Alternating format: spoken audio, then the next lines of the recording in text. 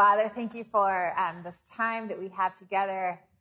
Thank you for your word that is a lamp to our feet, a light to our path. And Jesus, I ask that you open up all of our hearts and minds. We will understand your word right now.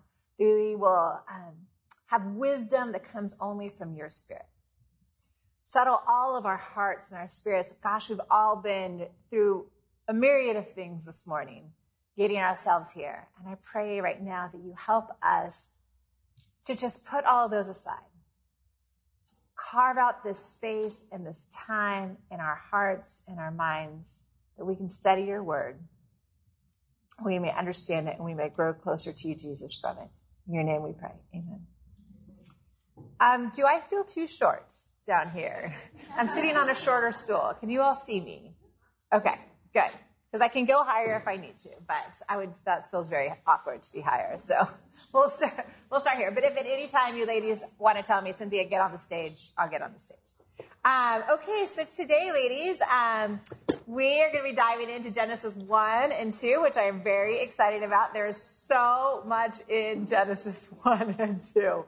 The entire Bible is pretty much based on Genesis 1 through 3. That's like the core of where scripture and the message of Jesus actually comes from. So, um, all right, so ladies, we are doing an overview of the Pentateuch, which are the first five books of the Bible Genesis, Exodus, Leviticus, Numbers, Deuteronomy.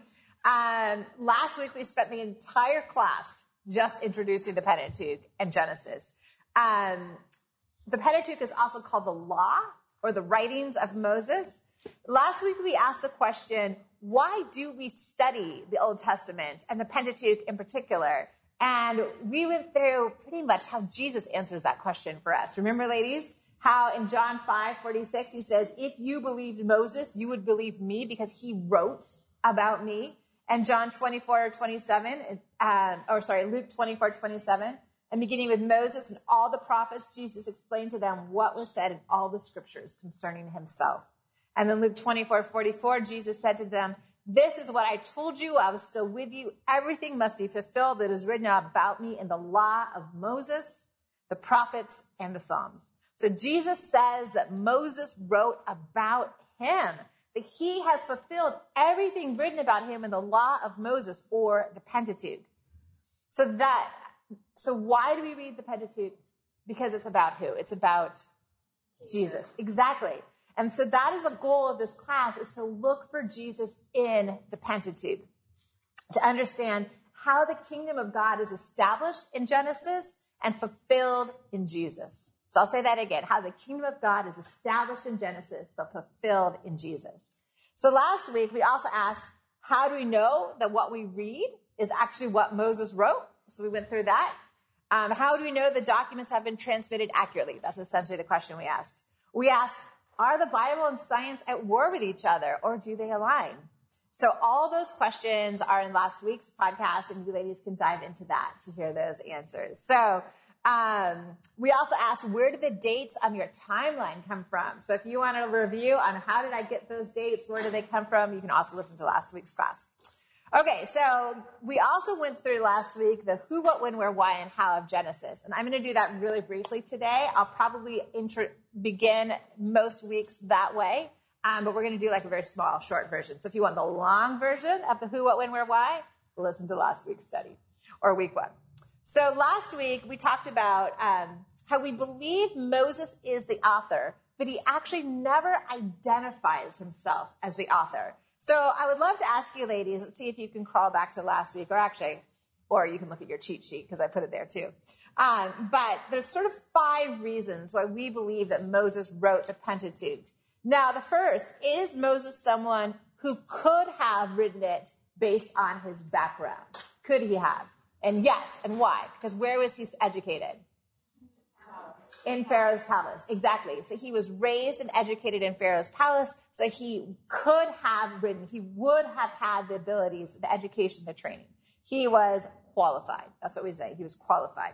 Um, second, how close was Moses to the story of everything that pretty much happens in Exodus and beyond? How close was he? He was what? He was in, he was firsthand. He was an eyewitness. So he saw it all happen He would have heard the stories of Genesis through oral tradition, and he would have experienced everything else that we read about in the Pentateuch. And so, third, what did the Lord command Moses to do? He commanded Moses to write it down. There's many times I read to you ladies five scriptures last week where the Lord commands Moses to write down his words for the Israelite people. So, fourth, does the Old Testament attribute Genesis and the Pentateuch to Moses? And the answer is yes, exactly. And do you remember specifically which person um, writes about Moses being the author of the law? Um, it's right away. It's um, the next book, well, after the Pentateuch is Joshua. Joshua himself says that Moses wrote the law and that that's what they are reading. So the Old Testament itself attributes the Pentateuch to Moses. And then the final thing is the New Testament. The New Testament also does attribute the, the law of Moses, the writings of Moses, or the Pentateuch to Moses. Um, both Jesus and the Apostle Paul assert that Moses was the author of the Pentateuch. So, for all of that, for those scriptures, you can also listen to last week's study. Um, next, who was Genesis written to? And this is really important. Who was it originally written to? I missed number five. Okay, so it was. Uh, Mo- why do we know that Moses was the author? He was qualified.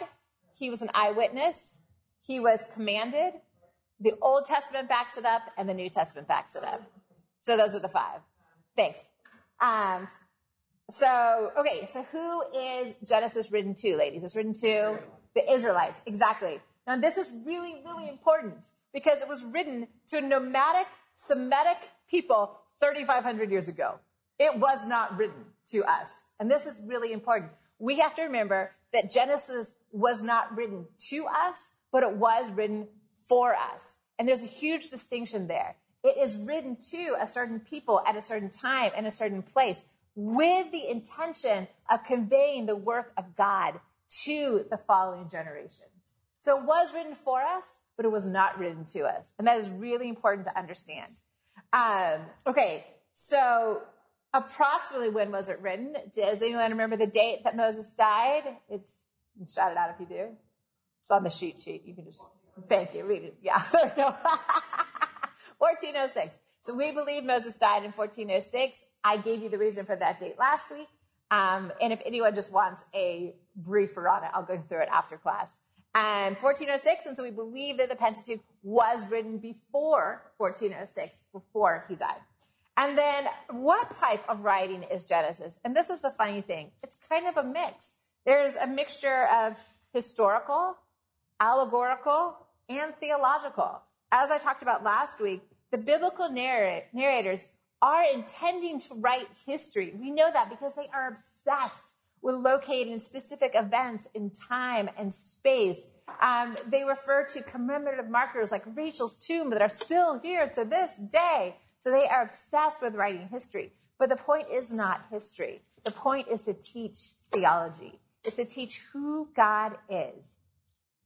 The story of Genesis is not just the story of the Israelites. It's the story of God creating a kingdom people, of God creating order out of chaos and pushing back the darkness, of choosing to covenant with a certain people, of revealing himself and beginning to create his kingdom on earth.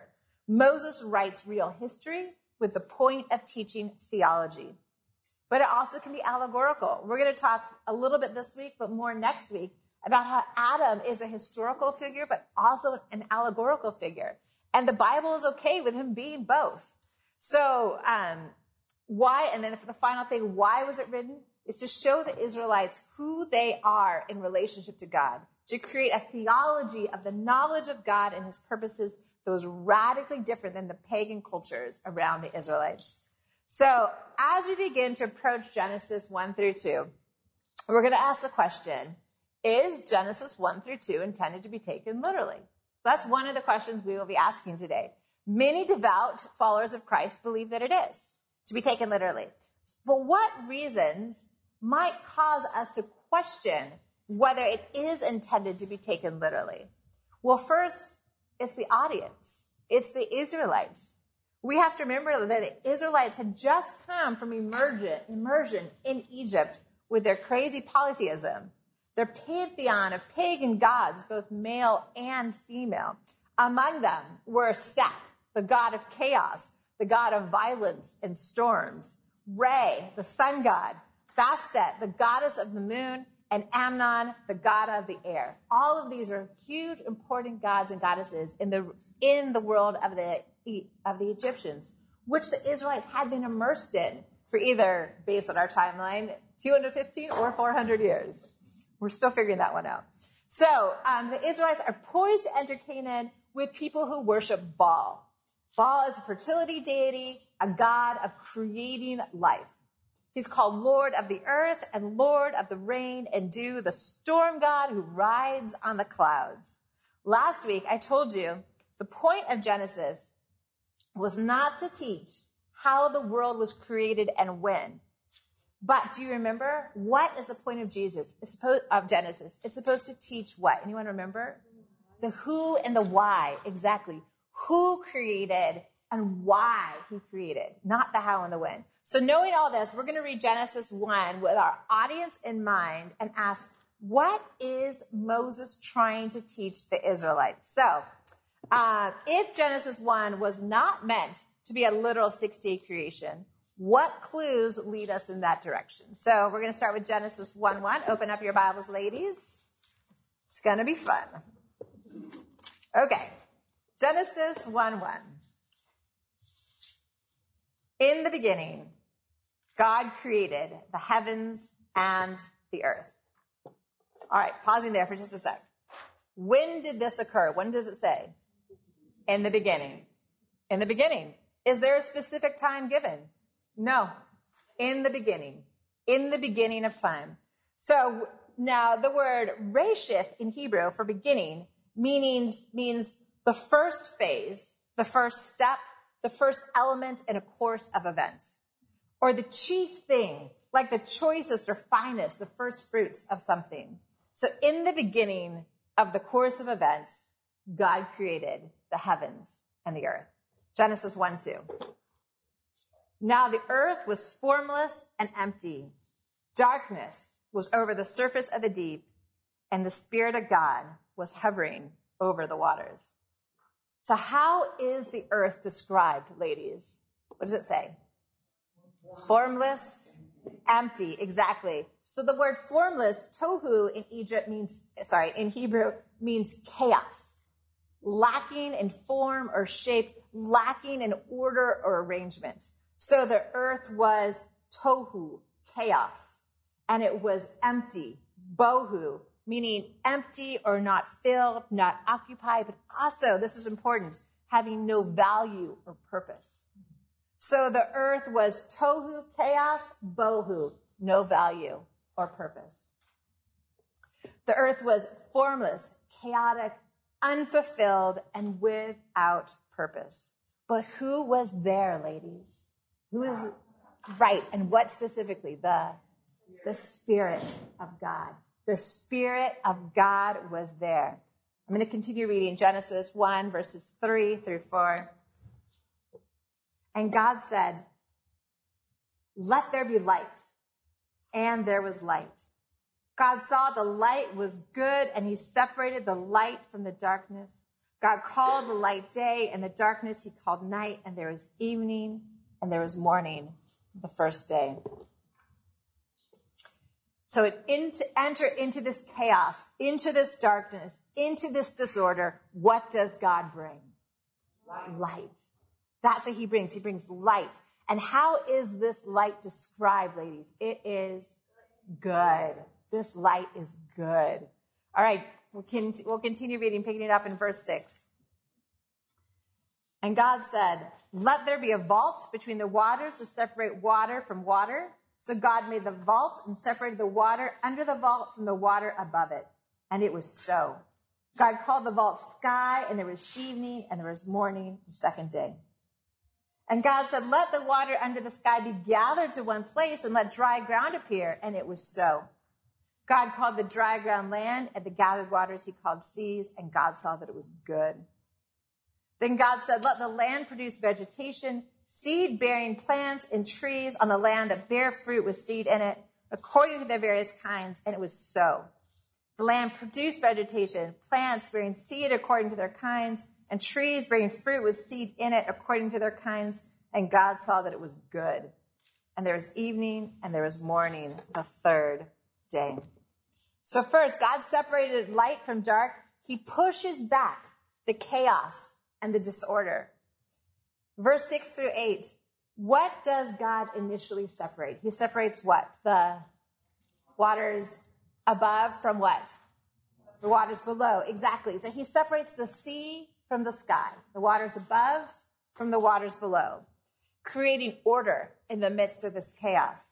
In verse 9 through 10, what does God then separate next? He separates the, the land from the sea. Exactly. So first it's water and it, or water and sky. Then it's land and it's sea. And then verse 11, what does that then allow to do? What can grow?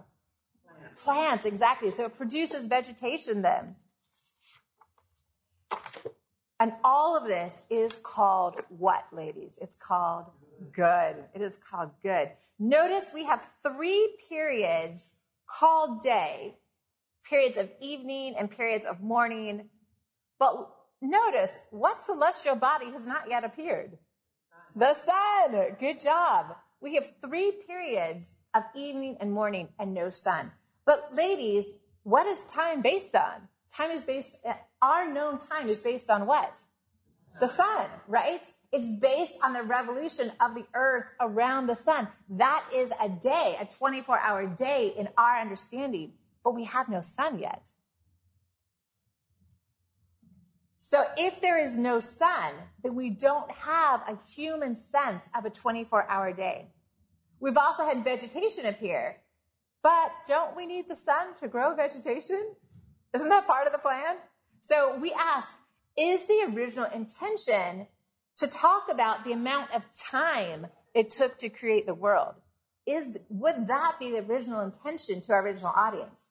Up to this point in Genesis 1, we've created three separate spaces, three points of order. We've separated light from dark, air from water, land, and then land from ocean. In our next verses, we will see what fills these places and what inhabits them. So starting in Genesis 1, verse 14. And God said, Let there be lights in the vault of the sky to separate the day from the night. Let them serve as signs to mark sacred times and days and years, and let them be lights in the vault of the sky to give light on the earth. And it was so. And God made two great lights, the greater light to govern the day and the lesser light to govern the night. He also made the stars. God set them in the vault of the sky to give light to the earth, to govern the day and the night, and to separate light from darkness. And God saw that it was good. And there was evening and there was morning, the fourth day. And God said, Let the water teem with living creatures and let birds fly above the earth across the vault of the sky. So God created the great creatures of the sea and every living thing with which the water teems and that moves about it according to their kinds, and every winged bird according to its kind. And God saw that it was good. God blessed them and said, Be fruitful and increase in number and fill the water in the seas and let the birds increase on the earth. And there was evening and there was morning, the fifth day. And God said, Let the land produce living creatures according to their kinds, the livestock, the creatures that move along the ground, and the wild animals, each according to its kind. And it was so. God made the wild animals according to their kinds, the livestock according to their kinds, and all the creatures that move along the ground according to their kinds. And God saw that it was good. Then God said, Let us make mankind in our image, in our likeness, so they may rule over the fish in the sea and the birds in the sky, over the livestock and all the wild animals, and over all the creatures that move along the ground. So verses 14 through 19. What inhabits the places of the light and the dark. What inhabits them? It's the, you can just shout it out. What fills the, sun, stars? What else? The sun and the moon. Exactly. So think like an Israelite for just a moment. Who does it say created these things? God. Exactly. So one God, one single God over all these things. One God, not a pantheon of gods. One God who creates and rules over the sun. The sun is not Re, a separate God. The moon is not Bastet, a separate goddess. They are not things to be worshiped. Who alone should be worshiped? God, the creator God, the one God over everything. Verses 20 through 23, what inhabits the places of the seas and the place of the air? It's inhabited by what? Creatures, living creatures. And God sees that everything he creates is what? Good. Everything he creates is good.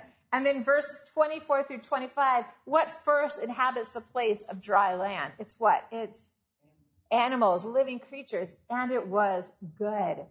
And then created last, signifying the crowning achievement, the greatest good. Who is created last? It's humankind, mankind. Exactly. This is really interesting to me. Do you ladies, have any of you ever, lady, ladies, ever heard what is the Hebrew word for mankind? It's Adam. Adam is the Hebrew word for mankind.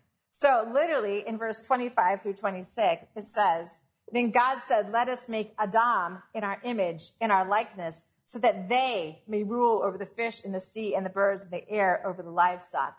So let us make Adam, humankind, they, Adam.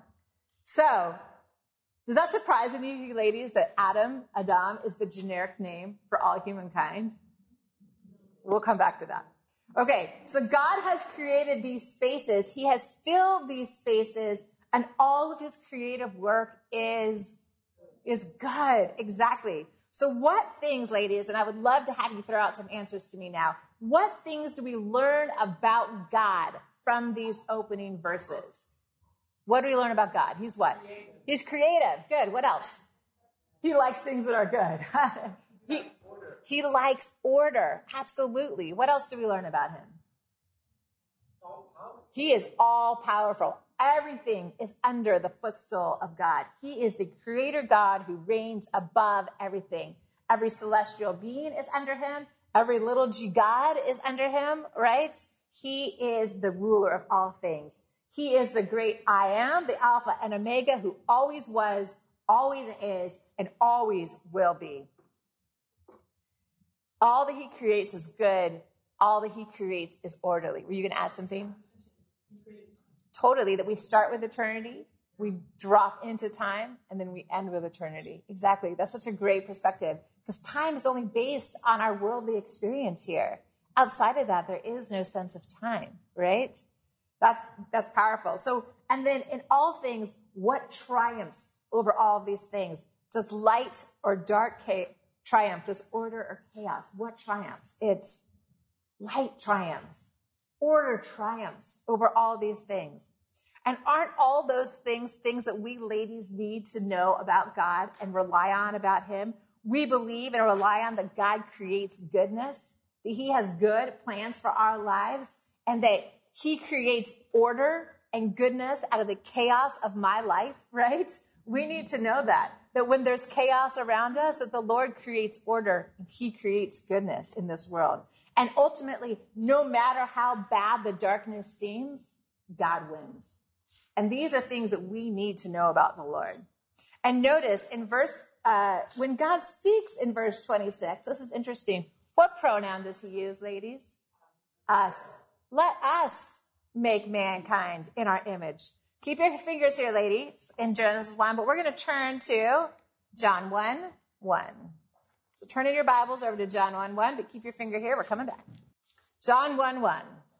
In the beginning was the Word, and the Word was with God, and the Word was God. He was with God in the beginning. For him, all things were made. Without him, nothing was made that has been made. In him was life, and that life was the light of all mankind. The light shines in the darkness, and the darkness has not overcome it. In the beginning was the Word. All right, we can turn back to Genesis. So, when did this occur? Verse 1, John 1. When did it occur? In the beginning. Notice how the phrase is so purposeful. John is so purposely using the exact same phrase that Moses begins to start Genesis 1 and John 1 start the exact same way in the beginning. And in the beginning, ladies, according to John 1, what existed? The Word. The Word existed. And where was the Word? The Word was with God, and the Word was God. Verse 3 What was made through the Word? All things. All things are made through the Word. Verse 4 In him the Word was what? Life and light. Life and light. And where does this light shine? In the darkness. Pause and just say, wow. When I was like studying this, I just had like literally this moment where I was like, wow. Like I just like sat there for a sec. In the beginning, God made his first step was separating light from darkness. And that light was Jesus. Jesus was there in the beginning. John is so clearly telling us that Jesus is who? Jesus is God. That is so clear. Jesus is the creator God, separating order from chaos, separating light from darkness, and bringing light and hope and order and goodness and ultimate victory to our lives. All right, back to Genesis 1. So we, th- we also see the theology of the Trinity declared to us in the us. And John identifies that us as including Jesus. In verse 2, remember, who's hovering over the waters? It's the Spirit. The Spirit of God is hovering. So we see the us including the Spirit. So the same creation Spirit who will descend on the disciples at Pentecost and inaugurate the new creation. The Spirit is there in the first creation. The Spirit will inaugurate the new creation. We see the us of God, including the Word, Jesus. So what is Genesis 1 teaching us so far? It's teaching us a theology of one triumphant creator God, one monotheistic God who contains three forms, who rules over everything. A God who creates order and goodness and pushes back the darkness. A benevolent, personal God who enters time and space to create us. And we are good. And he loves us. But there's more. We began to learn about who God is, but in the next verses, we are going to learn about who we are in relation to this God. So, Genesis 1 27 through 31. So, God created mankind, or Adam, in his own image. In the image of God, he created them. Male and female, he created them. Notice that for a moment. So God created Adam in his own image. In the image of God, he created them. Male and female, he created them. God blessed them and said to them, Be fruitful and increase in number, fill the earth and subdue it, rule over the fish and the sea and the birds in the sky and over every living creature that moves on the ground. Then God said, I give you every seed bearing plant on the face of the whole earth and every tree that has fruit with seed in it. They will be yours for food. And to all the beasts of the earth and all the birds in the sky and all the creatures that move along the ground, everything that has the breath of life in it, I give every green plant for food. And it was so. And God saw, saw all that he had made, and it was very good. And there was evening, and there was morning, the sixth day. Made in the image of God. Obvious question here, ladies. Are animals made in the image of God? No, they are not. Adam, male and female, are made in the image of God. Being made in the image of God gives us value, ladies. And notice that same value is placed on men and women. Why does every life have value? Because it's made in the image of who? Of God. That is why every life has value the poor, the widow, the orphan, the immigrant. Everyone has value because they are made in the image of God. We see a difference in some cultures who do not come from this Judeo Christian background, who don't implicitly believe that there is value in every life, who see some lives as expendable. We don't believe that because we believe every life has value simply by being made in the image of God. As, yeah, Yes. Question. We're going to get there. Hold that. That's a great point, and just hold on to that for a minute because we're going to get we're coming back to that. Okay. As Christ followers, we stand in the belief that all human life has value because all Adam is made in the image of God. Being made in the image of God is what gives us value. Being made in God's image also means we were given a job. Did you see that, ladies? We were given a job. What job are jobs are we given? Verse 28, verse 2. The first one is we are supposed to be what? Fruitful. Be fruitful. Literally, bear fruit. That's what it says. Bear fruit. When Jesus talks about bearing fruit, he's coming back to this. Be fruitful. Bear fruit. Increase in number. There's a sense of creating and spreading goodness, whether it's physically or whether it's the world in how we inhabit the world around us. What's the second job that's given to us? We are to rule. God, as the ultimate authority, places his mantle of authority on humankind. Just like he creates order out of chaos, he places that job on us as well. Scholars call humankind God's viceroys, or those who rule in his place. And, and that ruling is placed on both men and women as co-regents under God. God has created his kingdom and set humankind as those who rule under him and for him. When we as moms create order in our home, we are acting as God's viceroys. I have to say, I do love this personally because I love to organize. So now when I walk around and say this organized space is a godly space, my children are going to have to fall in line. So, um, but joking aside, when we create order in our communities, when we care for creation, human, animal, or plant, we are acting as God's image bearers. We are acting as his viceroys, those who rule in his place. We are not sent to destroy this beautiful world around us. We were created to push back the chaos and push back the destruction of the enemy. We are called to subdue evil as God's viceroys, to rule with order and moral goodness in the spheres that we occupy, in the places that he has placed us. So being made in the image of God means we are given two things. We are given worth and we are given work. And those are the two things he's given us, worth and work.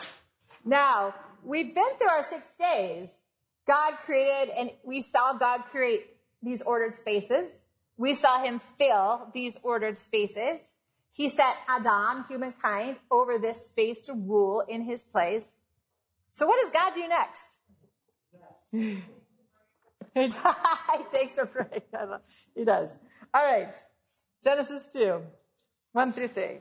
Thus the heavens and the earth were completed in all their vast array. By the seventh day, God had finished the work he had been doing. So on the seventh day, he rested from all his work. Then God create, then God blessed the seventh day and made it holy because on it he rested from all the work of creating that he had done. God's creation work is done. So what does he do? He, he rests. Exactly. Now, ladies, what is different about this seventh day? It is blessed, right? It is holy. But notice there is a phrase missing from the seventh day. Notice verse 5. How does verse 5 end? Verse 5 ends with, if you look back on it, it ends with, there was evening and there was morning, the fifth, the first day. Verse 8, there was evening and there was morning, the second day. Verse 13, there was evening and there was morning, the third day. Verse 19, there was evening and there was morning, the fourth day. Verse 23, there was evening and there was morning the fifth day. I know I'm a broken record. Verse 31. There was evening and there was morning the sixth day. What about the seventh day? Is there evening or morning? No. There is no evening and morning on the seventh day. Why is this significant? Many people believe we are still in the seventh day, that we live in the seventh day, where God has come he has created and he rests. He is present and he is there. This also leads us further away from viewing Genesis 1 through 2 as necessarily a six day, a seven day literal creation account. God has succeeded in creating order and establishing his kingdom. Victory and work are complete and final. And we now live with God in this sense of Sabbath rest, of dwelling with God in his presence. Remember, who is our author, ladies? Moses. Remember, who is it being written to? Israelites. Exactly. God has instituted the Sabbath as one of their 10 commandments that they are to abide by and follow. Moses is here giving them the basis for this commandment. He's creating a theology of rest. Twice Moses refers back to this Sabbath rest. I'll read them both. First, Exodus 20, 8 through 11. Turn there if you want, or you can just listen. Exodus 28 through 11. Remember the Sabbath day by keeping it holy. Six days you shall labor and do all your work, but on the seventh day is a Sabbath to the Lord your God. On it you shall not do any work. Neither you, nor your son or daughter, nor your male or female servant, nor your animals, nor any foreigner residing in your towns. For in six days the Lord made the heavens and the earth, the sea and all that is in them, but he rested on the seventh day. Therefore the Lord blessed the seventh day and made it holy. Now, the Israelites are these nomadic desert dwellers, right? We are entering into the midst of their 40 years in the desert. What is the one thing, do you ladies remember, the Israelites cannot do on the Sabbath? They cannot do what? They cannot, they cannot work. And what specifically are they not allowed to gather? Manna and quail, right? They are not allowed to gather these things. When the Lord instituted his provision for them of the daily manna and quail, it was they could only take how much? Do you remember? Enough, enough for each day. We could they could only take enough for each day. And on their day before Sabbath, they could take how much? Enough for two days. Exactly. They could take enough for two days. Now remember how at first some of them gather too much on one day, trying to like hoard it for the next. And what happens? Do you remember? It decays. It just rots. Exactly. It's nasty the next day. And so then at first, some people go out looking for manna and quail on the Sabbath. But is there any? No, it's not there. So what is the core of this idea of rest then? What are the Israelites supposed to do? They're supposed to worship, worship and they're supposed to trust. Trust that he will take care of them. Trust that if they do not work, on this seventh day that the Lord will still provide all that they need, that He will lead them and guide them through their desert journey, that He will provide food for them every single day. Trust that God will provide. We rest on Sabbath because God has created the world and will provide everything that we need. Sabbath is rest and trust because He is trustworthy. And interestingly, in Deuteronomy, was a little bit of a different spin put on Sabbath. So remember, same author, Exodus and Deuteronomy, both by Moses. I'm going to turn to Deuteronomy uh, 5, 12 through 15. You're welcome to turn or just listen. Deuteronomy 5, 12 through 15. Okay, sorry, 12 through 15. Again, Moses speaking to the Israelites. Now, was interesting, and we will get to this, is so Exodus is written as God is giving the commandments to Moses. He's writing them down. Deuteronomy is Moses' final speech when he's about to die, when he's sending the Israelites off into the land of Canaan with Joshua in command, but without him. And so he writes Deuteronomy to remind them of everything they have gone through, to remind them to be faithful as they enter the land of Canaan. So it's a lot of repetition, but it's Moses re- reminding the Israelites who they are and who God is. But he gives a different reason for Sabbath. Okay uh, Deuteronomy 5.12. Observe the Sabbath day by keeping it holy, as the Lord your God has commanded you. Six days you shall labor and do all your work, but the seventh day is a Sabbath to the Lord your God. On it you shall not do any work, neither you, nor your son, or daughter, nor your male or female servant, nor your ox, your donkey, or any of your animals, nor any foreigner, so that your male and female servants may rest as you do. Remember that you were slaves in Egypt, and the Lord your God brought you out of there with a mighty hand and an outstretched arm. Therefore, the Lord your God has commanded you to observe the Sabbath. So, why here does Moses tell the Israelites to rest on the Sabbath? To remind them of what? God's rest for them because they had been what? They had been slaves. They had been slaves in Egypt and are no longer slaves. God has set his people free. He has liberated them from slavery. We are not slaves to work. We are not enslaved to the work around us. We are set free to rest in God and to trust in him. And we look forward to a final rest with God forever. So again, we see that Moses is teaching the Israelites about God through this creation account, about who God is and who they are in relation to him. There's this great quote from theologian Bruce K. Waltke. I really like him. He says, Sabbath reminds us that the critical moments are not the ones spent building, possessing, and controlling, but the time set apart for quiet reflection, meditation, and worship. I love that. I have that on your class notes. So we've started, ladies, with the macro, macro view of creation, of who God is and humankind is. In Genesis 2, we read more about the creation of Adam, humankind. Now, ladies, I'm going to tell you previously, if you had asked me this question, why are there two versions of Genesis or of creation? I would have given you a different reason last spring.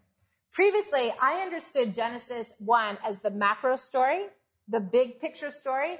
God creates humankind. And then Genesis 2 as the micro story and zeroing in on the first humans. So going from macro to micro. One author I read this summer, John Walton, who's a professor of Old Testament at Wheaton College, so very conservative theological school. He is open to an understanding of theistic evolution, something I talked about with you ladies last week. That unlike Darwinism, that sees humans as simply chemical, responding to their environment without freedom or moral responsibility, that God could have worked through what's called theistic evolution. That God created the world and life and intimately continues to develop that life. That he worked through time and environment in an intimate sense of involved evolution. That God created in the past and still creates with every new life that is formed. So in this openness to theistic evolution, Walton actually asks, were Adam and Eve the first people? I have to tell you, this is a little mind blowing for me. So what if Genesis 2 is not a micro look at Genesis 1, but the next phase, the next step? What if it's a continuation? What if God created humankind and then created special people to covenant with? This was a little mind blowing to me. I'll be honest. But it also accounts for some things, like where did Cain and Seth get their wives? People have asked that question. Where did they come from? It also allows for a sense of theistic evolution. Now, ladies, I don't know. I have not done enough reading or personal thought processing to decide, am I on board with theistic evolution or not? I, I'm just going to lay it out there as something that is compatible with scripture, that is not antithetical to worshiping and following our Lord. So, uh, it also answers the question, how does Cain build a city if no one else exists? but that's still to come. So, what if again, the point of Genesis 1 through 2 is not how and is not when, but what, because science can answer those questions for us. The Bible is not a scientific document. What if again the point is who created and why? That those are the questions that are being answered. Okay, I'm going to read Genesis um, 2, verses 4 through 7, with all this in mind. This is the account of the heavens and the earth when they were created, when the Lord God made the earth and the heavens. Now no shrub had yet appeared on the earth, and no plant had yet sprung up, for the Lord God had not sent rain on the earth, and there was no one to work the ground. But streams came up from the earth and watered the surface of the ground. Then the Lord God formed a man from the dust of the ground and breathed life, breathed into his nostrils and the breath of life, and the man became a living being. So God makes man, Adam, out of the ground or Adamah. He makes Adam out of the Adamah. There's a wordplay going on here in the Hebrew mind. Adam can mean humankind, as I said.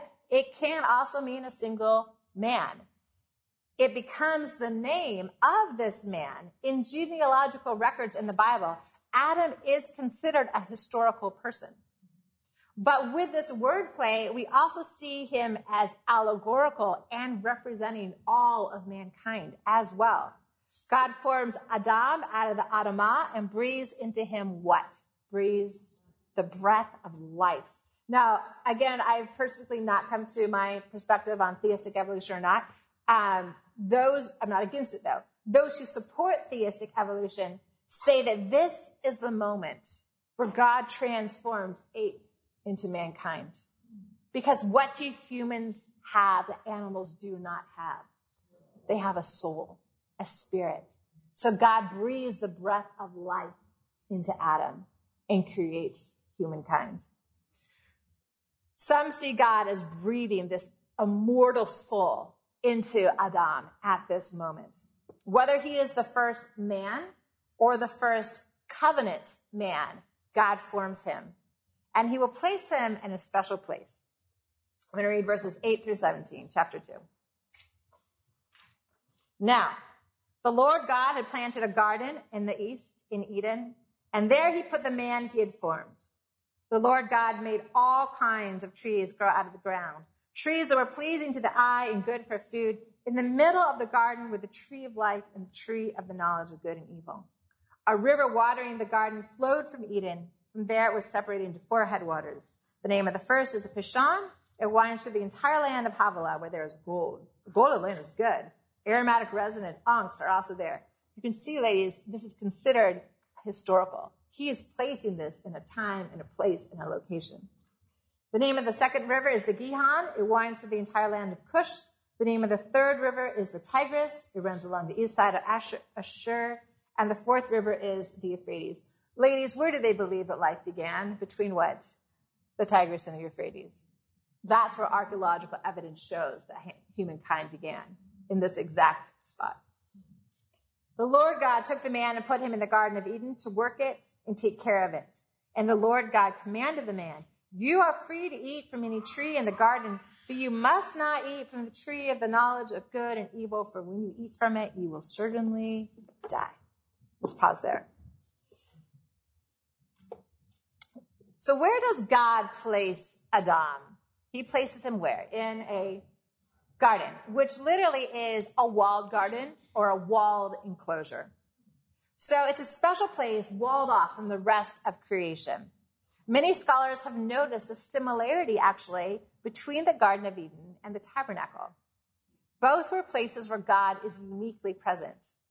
Theologian G.K. Beale notices that the same Hebrew word form, hithpael, used for God's walking back and forth in the garden, also describes God's presence in the tabernacle. I have scripture for you on your um, class notes.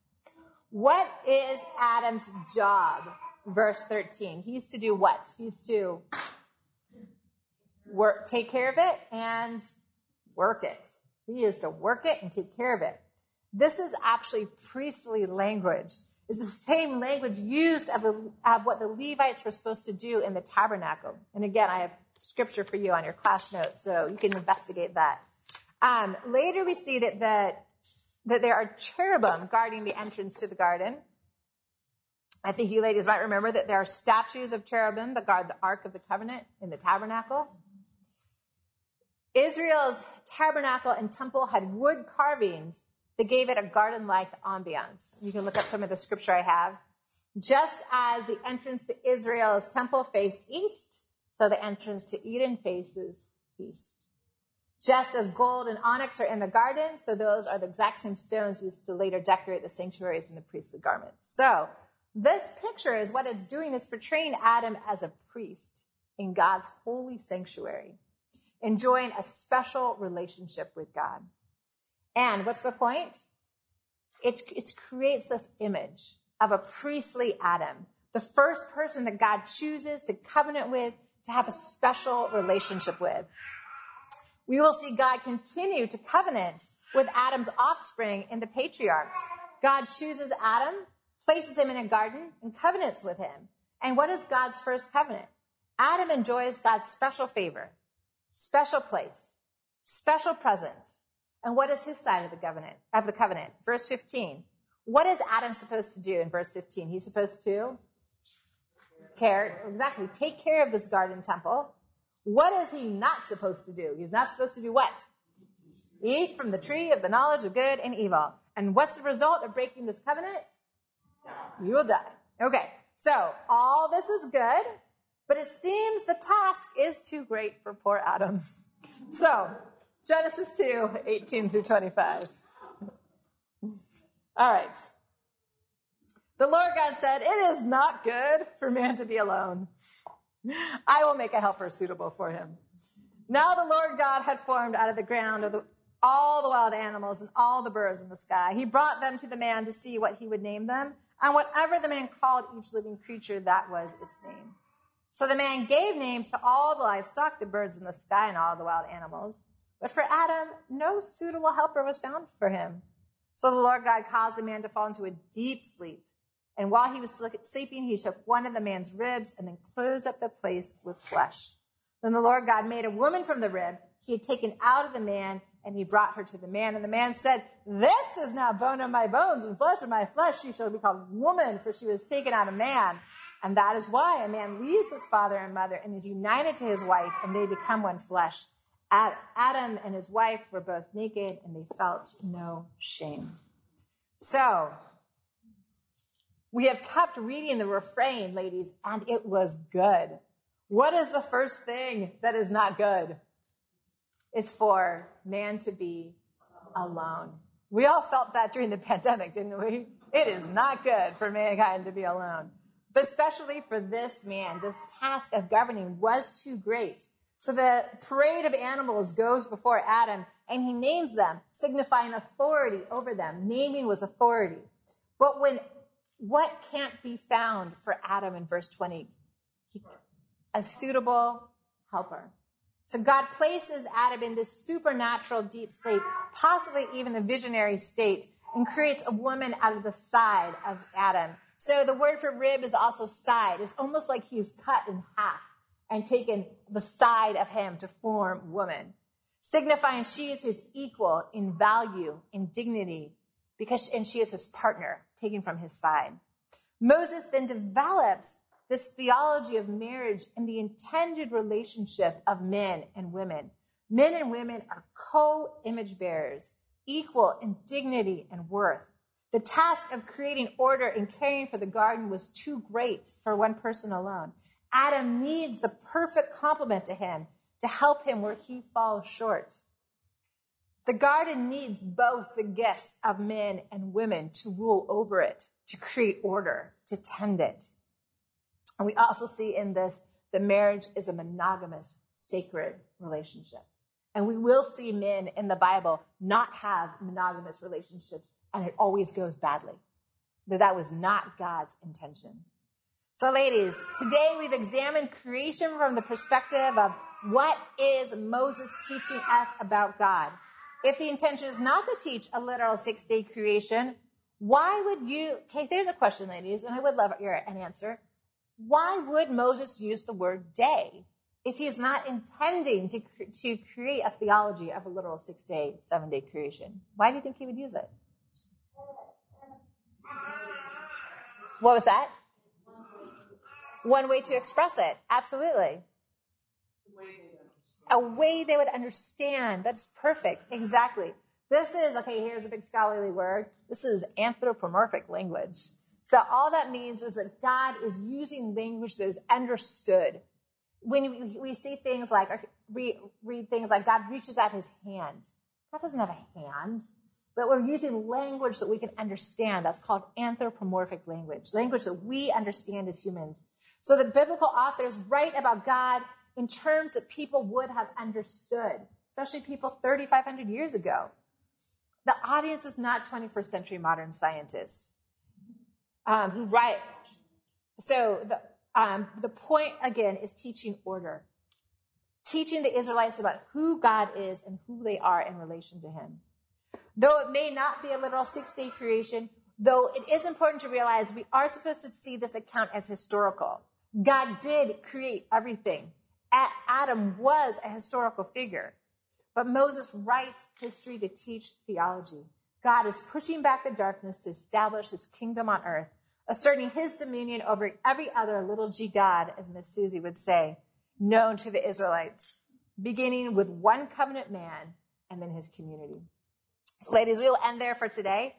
At your tables, my two questions for you is just for you to talk about, kind of reviewing and what you took from today. What does Genesis 1 through 2 teach us about who God is? What does Genesis 1 through 2 teach us about who we are? Who God is and who we are. I'd love for you ladies to have a few minutes of table discussion. Um, I will close us in prayer right now, um, just to close us off neatly, and then I invite you ladies to stay until 10:45 and chat about these questions together. Uh, Lord Jesus, thank you for this time we have had together. Thank you for your word and just how good and sweet it is.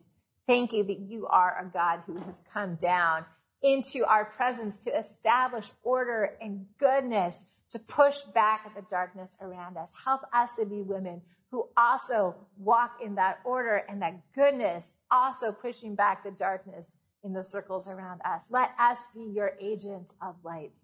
Jesus, as we go from here, I pray that you will bless these women, that you will take care of these women and their families, that you will also provide them with opportunities today to be your light, to love, encourage, and bless someone around them. We love you so much. In your name, Jesus, we pray. Amen.